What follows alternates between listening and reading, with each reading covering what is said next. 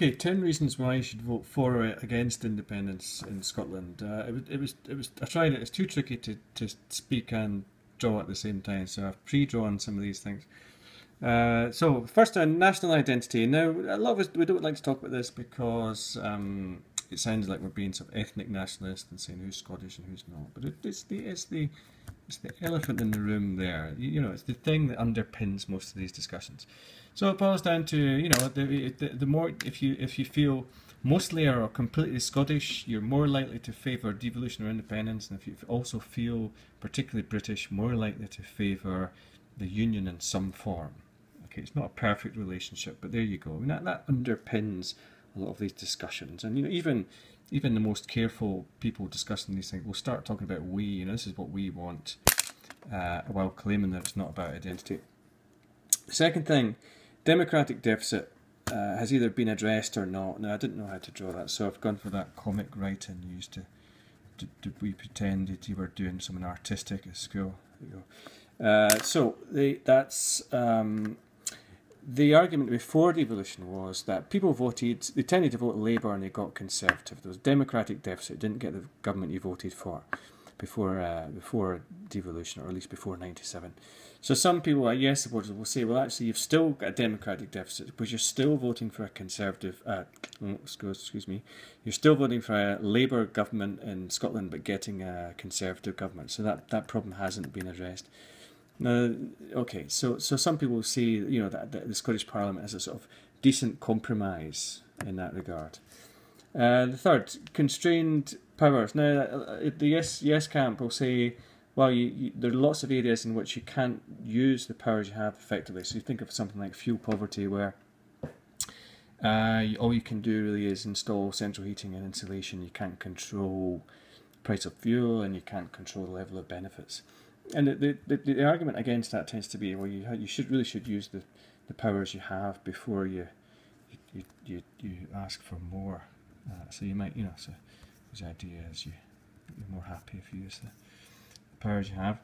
The fourth, sticking up for Scotland. Well, the only way to sort of uh, show pride in Scotland is to elect a Scottish government. Now, to some extent, the the argument there is that that's already happening. Uh,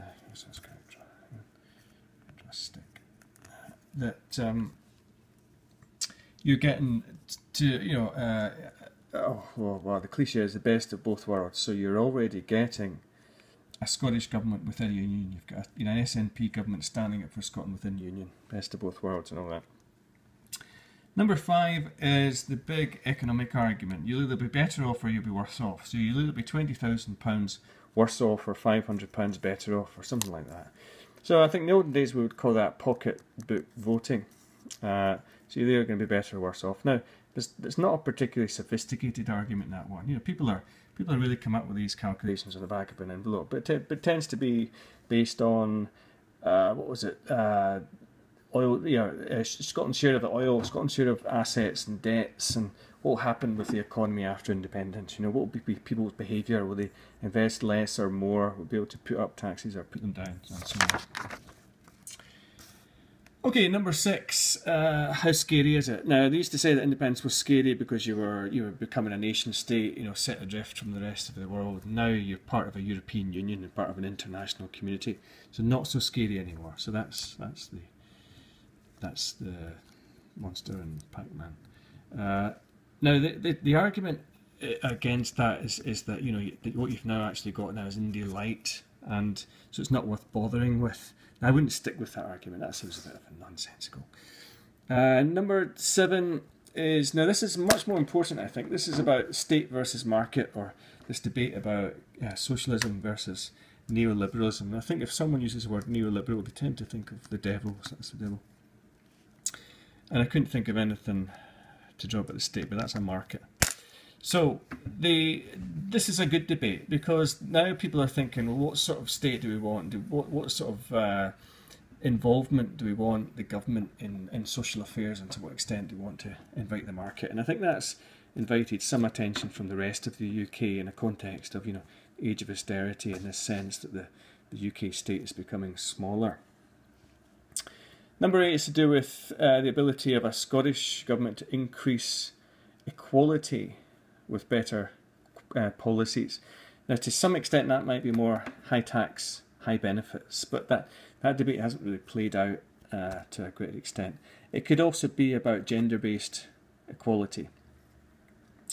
Uh, because, or at least with devolution, there was a sort of movement towards you know, better female representation, which might translate into you know more you know better uh, gender-based policies. Of course, gender is not just about women.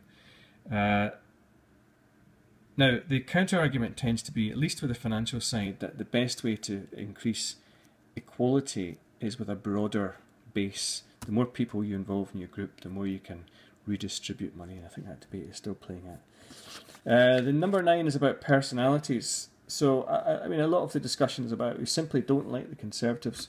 George George Osborne is smug and uh, he reminds us too much of Thatcher. So I got that off the internet. That uh, when I drew that, I realised that that is supposed to be George Osborne dressed as as Thatcher. Uh, now, the, the counter argument, at least if you're not a Conservative person in Scotland, is that you can vote Labour and keep the Tories out and still have a Scottish government and a UK government. The final thing is about emotions and gut feeling, which is really, I think, how a lot of people are going to vote. Oh, they're just going to go for how they feel. And there's nothing wrong with that.